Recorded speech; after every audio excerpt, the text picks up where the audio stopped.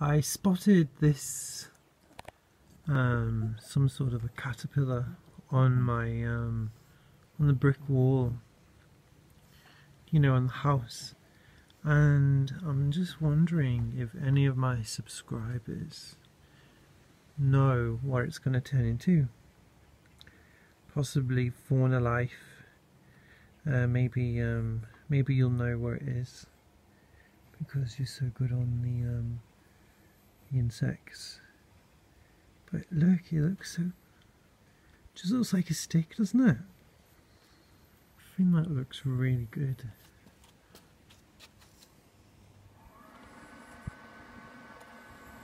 That's quite unusual. Never seen one of those before.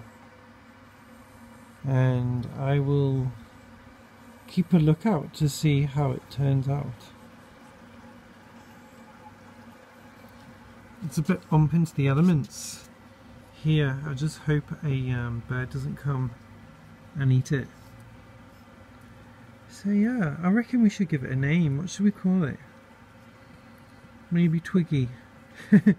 Hello Twiggy. Sunbathing. Keep safe, little one. And we shall see what you turn into.